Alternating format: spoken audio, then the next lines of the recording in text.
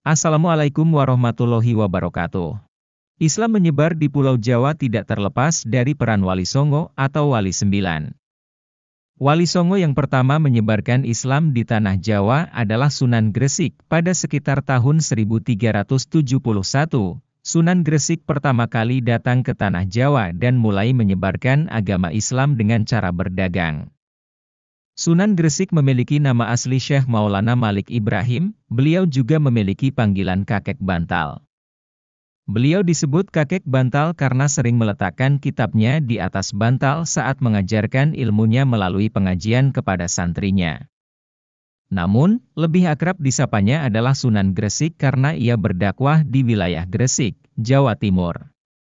Syekh Maulana Malik Ibrahim atau Sunan Gresik lahir di Samarkand, Uzbekistan sebelum singgah di Gresik ia terlebih dahulu singgah di Champa. Di sana ia mempersunting keturunan dari Raja Champa dinasti Asmat Han I yang bernama Siti Fathimah.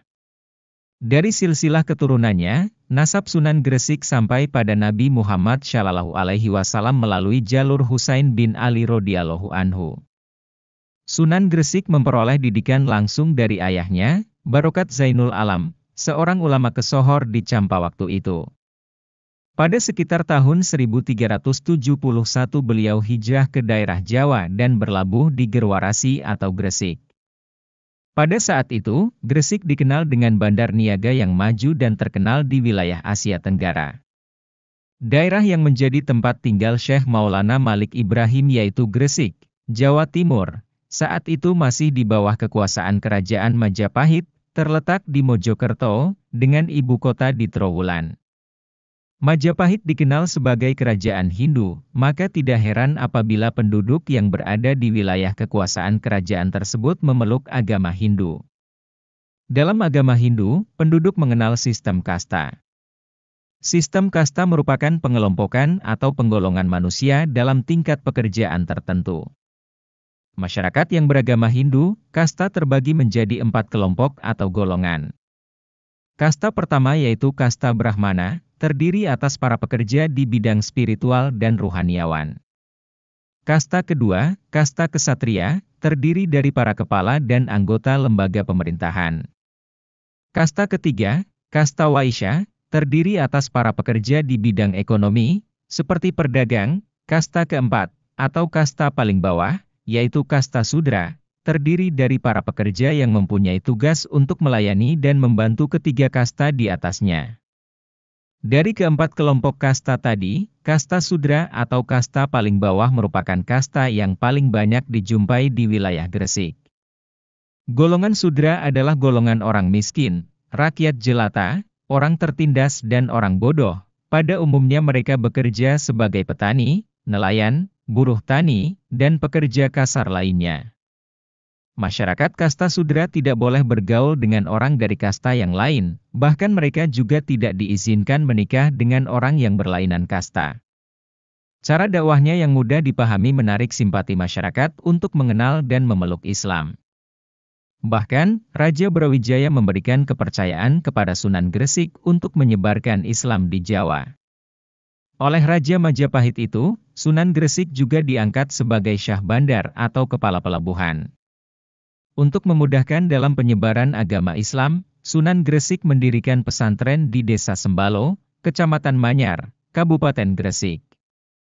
Pesantren ini menjadi pusat pembelajaran agama Islam di masa itu. Pembelajaran dengan sistem pesantren menjadi sistem pembelajaran pertama di Pulau Jawa, Selain mendirikan pesantren, Sunan Gresik juga membangun Masjid Pesucinan.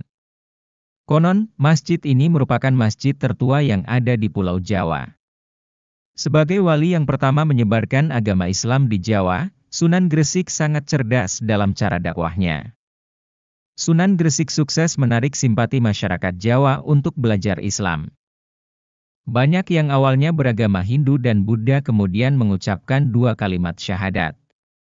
Kesuksesan cara dakwah Sunan Gresik dapat dilihat dari jumlah pemeluk agama Islam yang terus bertambah. Selain dikenal sebagai seorang wali yang menyebarkan Islam, kakek Sunan Bonang dan Sunan Derajat ini juga menjadi seorang tabib. Ia banyak mengobati masyarakat terutama dari kalangan menengah ke bawah secara gratis. Sunan Gresik memanfaatkan kemampuan mengobati orang itu sebagai strategi berdakwah. Nilai-nilai yang mencerminkan Islam ia terapkan dalam praktik pengobatan ini. Dalam pengobatannya, Sunan Gresik tak membeda-bedakan golongan masyarakat. Golongan masyarakat kelas atas, tengah, maupun bawah di mata Sunan Gresik adalah sama. Inilah yang disukai oleh masyarakat. Keahlian mengobati orang yang sakit juga terdengar hingga telinga sang Raja Majapahit. Akhirnya Sunan Gresik diundang untuk mengobati istri raja yang sedang sakit. Bukan hanya mengobati orang yang sakit, Sunan Gresik juga gemar berdagang dan bertani.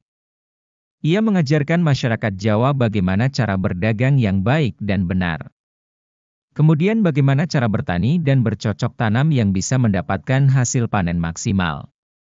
Tentu saja Sunan Gresik memberikan ilmu-ilmu tersebut secara gratis. Dengan menerapkan nilai-nilai keislaman dalam kehidupan pribadinya, banyak masyarakat yang tertarik dengan Islam. Akhirnya mereka berbondong-bondong untuk mengucapkan dua kalimat syahadat dan memeluk agama Islam tanpa ada paksaan. Tak hanya itu, Sunan Gresik juga memiliki karomah yang luar biasa. Dikisahkan pada masa-masa awal kedatangannya di Tanah Jawa, Sunan Gresik mengalami sebuah kejadian saat beliau sedang mengembara. Ketika itu, cuaca sangat terik karena sudah berbulan-bulan tidak ada hujan di daerah tersebut. Di tengah perjalanannya mengembara, beliau melihat banyak orang berkerumun sambil mengerumuni panggung bebatuan. Di atas bebatuan tersebut ternyata ada seorang gadis yang berpakaian putih dengan kedua yangan yang dicengkram oleh dua orang lelaki berbadan besar. Di dekat gadis itu juga ada seorang yang sedang membacakan mantra sambil memegang pisau. Saat Sunan Gresik bertanya pada orang-orang, beliau mendapat informasi kalau gadis tersebut sedang menjadi tumbal untuk dipersembahkan kepada Dewa Hujan karena di tempat tersebut sedang mengalami kemarau panjang. Kemarau panjang ini mengakibatkan sumur kering dan ladang tidak bisa menghasilkan panen. Ketika beliau ingin menggagalkan upacara penumbalan tersebut, kedua orang berbadan besar tersebut menyergap Sunan Gresik. Tapi baru beberapa langkah saja, kaki dua orang tersebut terasa lemas hingga tidak bisa digerakkan. Setelah mengetahui kalau korban persembahan ini adalah yang ketiga, Sunan Gresik kemudian bersama kelima muridnya menghadap kiblat lalu melakukan sholat sunnah istisqa sebanyak dua rakaat untuk memohon hujan. Tak berselang lama, turunlah hujan dengan deras. Orang-orang setempat yang sangat gembira pun berterima kasih dan ingin menyembah Sunan Gresik, tapi hal tersebut dilarang oleh beliau dan menyuruh mereka untuk mengucapkan syukur pada Allah Subhanahu wa Ta'ala. Orang-orang tersebut kemudian diajarkan mengucapkan dua kalimat syahadat dan diajak untuk memeluk agama Islam. Setelah berhasil dalam menyampaikan ajaran Islam, Syekh Maulana Malik Ibrahim wafat pada tahun 822 Hijriah tepatnya pada tahun 1419 Masehi dan dimakamkan di Desa Gapura berhimpitan dengan makam pahlawan Gresik, Jawa Timur. Kemudian para murid-muridnya termasuk Sunan Giri melanjutkan dakwahnya dalam menyebarkan agama Islam. Itulah kisah singkat Syekh Maulana Malik Ibrahim. Semoga dapat menambah wawasan kita semua, kurang lebihnya mohon maaf, walau bisawab. Wassalamualaikum warahmatullahi wabarakatuh.